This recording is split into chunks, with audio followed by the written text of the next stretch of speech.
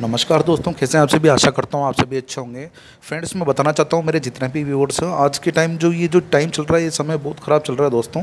क्योंकि क्या है कि अभी देखो कि जो कोरोना है, ये काफ़ी पिक पे जा चुका है और कई तरह की बीमारियाँ हो रही है और इससे क्या है कि हर आदमी परेशान है।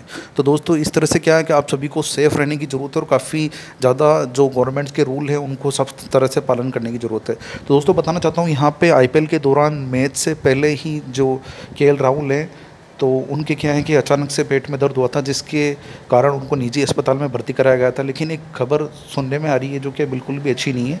उनको जो है वो एक बड़े हॉस्पिटल के अंदर मुंबई में एडमिट किया गया। है तो दोस्तों, बताना चाहता हूँ, जो जितने भी हमारे के राहुल के जितने भी फैंस हैं और जो भी उनको सपोर्ट करते हैं, वो सभी जो हैं, उनके लिए तहे दिल से जो हैं, वो उनके लिए दुआएँ करें। और क्या है कि वो आशा करेंगे जल्द से जल्द ठीक हो जाएँ और वो अपने जो लाइफ है, वो इसी अपने हिसाब से आगे से जो है अपने खेल के प्रति वो जुड़ जाएँ।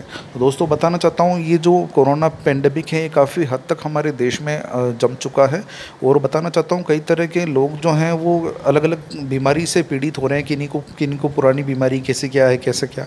लेकिन क्या है कि एक तरह से क्या है कि जो एयर है, वो भी पोल्यूटेड हो चुकी है और प्रॉपर तरीके से जो वायरस है, ये एयर के अंदर घुल चुका है दोस्तों। तो जितनी भी पुरानी बीमारियाँ हो रही है लोगों को तो उनके उनके अंदर जो है एंटीबॉडी नहीं बन पा रही है, इस वजह से क्या है कहीं ज़्यादा दिक्कत आ रही है दोस्तों? तो क्या है कि आपसे ये गुजारिश है कि आप भी जो हैं, वो अपना पूरी तरीके से ख्याल रखें और हमेशा जो है अपना वो प्रॉपर तरीके से सैनिटाइज और मास्क वगैरह का डिस्टेंस, डिस्टेंसिंग का आप जो है, वो पालन करें।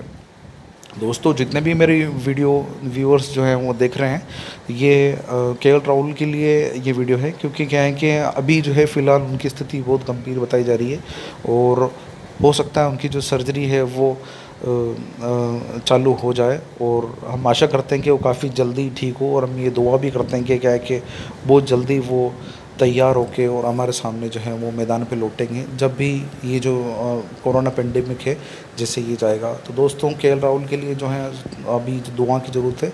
जितने भी मेरे व्यूअर्स हैं, मैं उनसे गुजारिश करूँगा कि इनके लिए ज़रूर दुआएँ करें और अपना ख्याल रखें सभी। धन्यवाद दोस्तों।